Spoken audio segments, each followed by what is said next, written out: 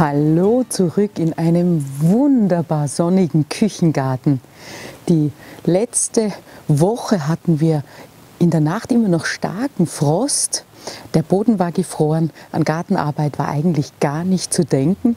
Und die nächste Woche haben wir auch in der Nacht an die 5, 6 Grad und tagsüber bis hinauf zu 17 Grad, schon richtig frühlingshafte Temperaturen vorhergesagt. Und da gibt es für mich natürlich kein Halten. Ich habe im letzten Jahr meine Erdbeerpflanzen ziemlich vernachlässigt. Sie haben nicht so gut geblüht, es gab keine gute Ernte, der Standort war mir nicht so recht. Und da habe ich mir fix vorgenommen, was daran zu ändern. Ich war von der ganzen Situation auch so demotiviert, dass ich mich im Herbst auch gar nicht um sie gekümmert habe. Also die schauen ziemlich trostlos aus.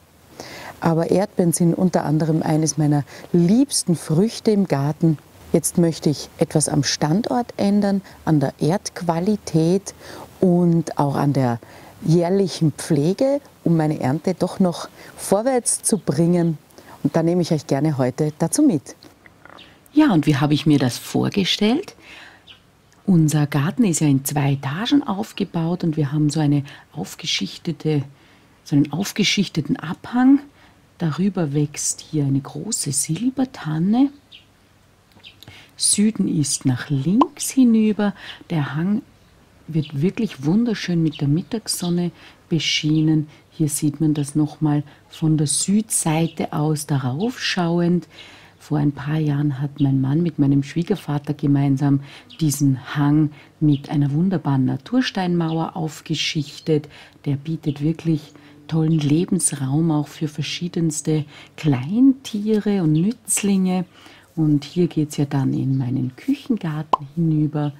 Bis jetzt wird dieser Hang nicht sonderlich genutzt und er ist außerdem wirklich grauenvoll dicht mit Efeu überwachsen.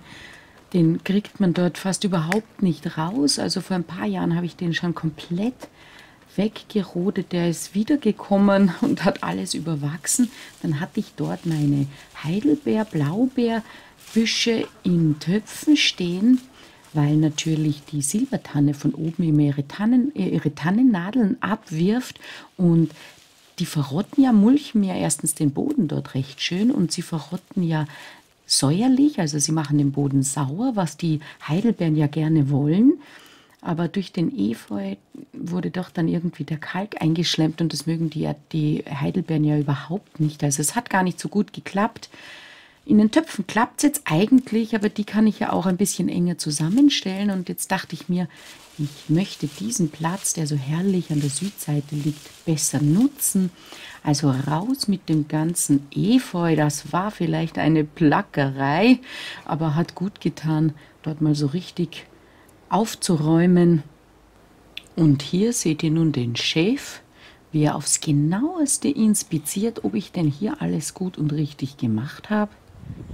Okay. Ich glaube, er ist recht zufrieden mit mir. Was sagst du dazu? Hm? Puh, der Eva ist ganz schön aggressiv. Hm? Eine kurze Unterbrechung in eigener Sache. Ihr habt vielleicht gesehen, dass ich unter dem Video einen Shop verlinkt habe. Und zwar ist das mein eigener Shop. In einem anderen, früheren Leben habe ich viel mit Grafikdesign und Werbung zu tun gehabt. Und ich habe mir gedacht, das kann ich auch hier für meinen Küchengarten YouTube-Kanal nutzen. Ich habe selbst Grafiken designt, die ich auf diverse Produkte drucken lasse. Vielleicht ist ja für euch was dabei, vielleicht schaut ihr mal rein und wenn ihr das nächste Mal eine Gartenschürze braucht oder eine Trinkflasche für die heißen Tage im Garten, dann denkt ihr vielleicht an meinen kleinen Shop und unterstützt somit meine Arbeit hier auf diesem YouTube-Kanal. Ich würde mich sehr freuen. Dankeschön. Hier an diese Stelle soll also mein neues Erdbeerbeet kommen. Immer wenn ich ein neues Beet anlege, kommt zuerst ein Karton an die Stelle. Dadurch wird das Licht von der Erde abgehalten und alle Unkräuter und Gräser unter dem Karton sterben ab. Später verrottet der, aber die Gräser sind ja schon tot, also kommt nichts mehr hoch. Hat für mich bis jetzt immer wunderbar geklappt. Eine ganz tolle Sache. Ich weiß, Karton im Garten ist ein bisschen ein Streitpunkt unter den Gärtnern. Das muss jeder für sich selbst entscheiden. Für mich ist das in diesem Ausmaß okay. Ich habe mir hier so eine faltbare Holzbeetumrandung gekauft. Die kriegt man momentan schon in jedem Gartencenter und Baumarkt. Habe ich schon ein paar Mal verwendet. Finde ich wirklich gut. Auffüllen werde ich diese Beetumrandung jetzt zuerst mit zwei bis drei, vielleicht sogar vier, das werden wir sehen, Schubkarren Pferdemist. Der wird über die Zeit verrotten. Während diesem Verrottungsprozess gibt er eine herrliche Wärme frei. Das ist gerade jetzt in dieser frühen Zeit des Jahres wunderbar, weil das meine kleinen Erdbeerpflänzchen an die Füße wärmen wird. Und nach der Verrottung ist es ein herrlicher, nährstoffreicher Boden. Oben drüber kommt dann noch Blumenerde gemischt mit Dünger, weil nur der reine Pferdemist wäre natürlich für die kleinen Pflänzchen viel zu scharf. Da hatte ich also dann schon zwei Schubkarren Pferdemist in dieser Beetumrandung drinnen. Es sah schon recht voll aus. Dachte ich mir aber, na, lieber noch ein bisschen zusammenstampfen, weil das ja immer sehr stark absinkt. Und das war dann tatsächlich auch noch nicht wirklich voll. Es passte noch eine dritte Schubkarre hinein. Aber nach dem Verteilen sah es dann ganz gut aus und ein bisschen Platz für Gemüse, Blumen, Erde brauchte ich ja auch noch. Da hatte ich noch zwei Säcke übrig mit Bio-Blumenerde, torffrei natürlich. Und das habe ich dann mit ein paar Händen voll Langzeitbeerendünger gemischt. Ziemlich gut durchgemischt und das sollte dann über die Saison jetzt auch reichen. Warum spezieller Beerendünger? Wie gesagt, die Erdbeeren mögen auch einen eher sauren Boden, einen pH-Wert zwischen 5,5 und 6,5 und dieser Beerendünger erfüllt all diese Anforderungen.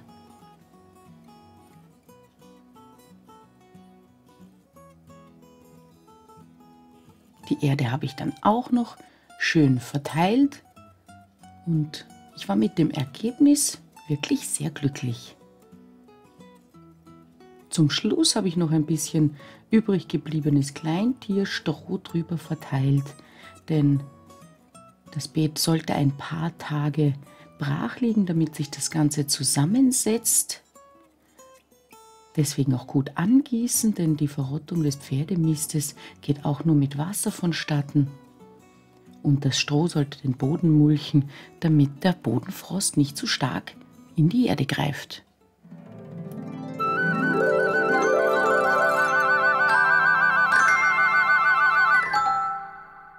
Ist also hier der Status quo meines Erdbeerbeetes. Richtig traurig. Der nimmt hier die Hälfte oder ein Drittel eines Beetes in meinem Küchengarten ein. War ich jetzt nicht so glücklich darüber, weil ich hier natürlich mehr Platz für mein Gemüse brauche. Man braucht immer mehr Platz, ihr kennt das. Jetzt könnt ihr hier sehen, es hat jetzt hier schon mehr kriechenden Günsel als Erdbeerpflanzen. Wurmhäufchen sind hier auch ganz intensiv dazwischen, die meine Erdbeerpflanzen ziemlich überwuchern. Wurmkompost ist ja sonst nie was Schlechtes. Hier dazwischen kommt junger Knoblauch hoch, den ich letztes Jahr vergessen habe zu ernten. Das ist eigentlich toll. Den kann man auch wunderbar, ja gell, Luki, magst du auch Knoblauch? Den kann man auch wunderbar so jung ernten und als ein ganzes, als Monozehe dann in die Pfanne geben. Ja, warum den Knoblauch zwischen den Erdbeeren? Das ist eine ganz beliebte Mischkultur, weil der Knoblauch durch seine ätherischen Öle, durch die Dämpfe, die er ausscheidet, viele Pilzkrankheiten von den Erdbeeren fernhält. Wenn ihr selbst Erdbeeren anpflanzt, dann habt ihr das vielleicht schon gemerkt, dass die sehr anfällig für Pilzkrankheiten und auch Rost sind. Und der Knoblauch ist da eine richtig gute Partnerschaft, um dem auf natürlichem Wege ein bisschen vorzubeugen.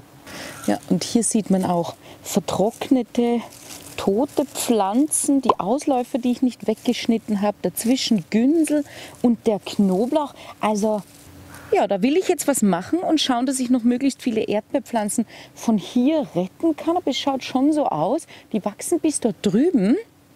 Es gibt ja verschiedene Arten von Erdbeeren, also die einmaltragenden, die all ihre Früchte Mai, Juni herum zur Verfügung stellen, dann die Monatserdbeeren, die über den gesamten Sommer hinweg Früchte, die leckeren süßen Früchte produzieren, Walderdbeeren, diese ganz kleinen, extrem süßen, die auch den ganzen Sommer über Früchte produzieren. Eine neue Variante habe ich letzthin entdeckt, das ist die Ananas-Erdbeere.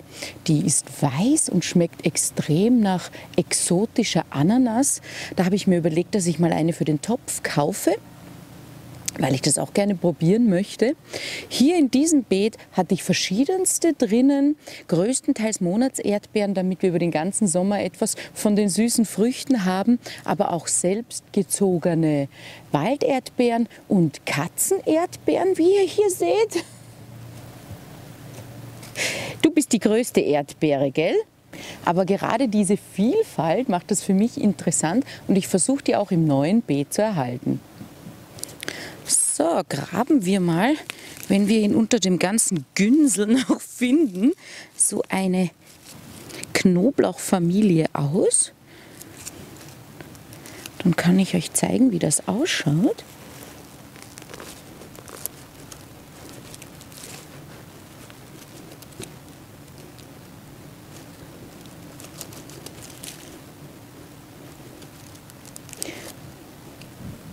Das kann man jetzt hier fast als Knoblauchlauch beschreiben.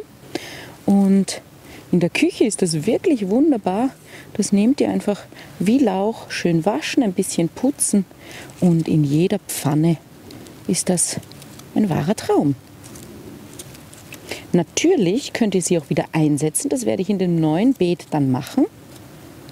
Und im nächsten Jahr sollte es dann Knoblauch geben. Und dann habe ich mich daran gemacht, alle Erdbeerpflänzchen, das waren größtenteils Ausläufer, aus dem Beet herauszubuddeln. Der Grund für den schlechten Ertrag im letzten Jahr kann auch gewesen sein, dass die Pflanzen einfach ermüdet waren, denn den größten Ertrag liefern Erdbeeren im zweiten und dritten Jahr nach ihrer Pflanzung und danach nimmt der Ertrag fortwährend ab. Dann sollte man sich sowieso Gedanken darüber machen, sie an einen neuen Ort zu pflanzen am besten würde man dazu jene Ableger nehmen von Pflanzen, die man beobachtet hat, dass sie im letzten Jahr sehr gut getragen haben. Das habe ich jetzt hier nicht gemacht. Ich bin froh, wenn ich genug Ableger zusammen bekomme, um das Beet, das neue Beet voll zu bekommen. Nachdem ich es dann geschafft hatte, alle Pflänzchen und auch den Knoblauch herauszugraben, habe ich dieses Beet dann mit einer schönen Lage Pferdemist versehen, um es zu mulchen und aufzuwerten mit diesem organischen Dünger. Die geretteten Erdbeerpflänzchen habe ich alle schön sauber gemacht, also verwelkte, faulige und abgestorbene Blattreste entfernt und auch die Nabelschnur, also die Verbindung zur Mutterpflanze gekappt. Und es sind doch ein paar schöne Pflänzchen zusammengekommen.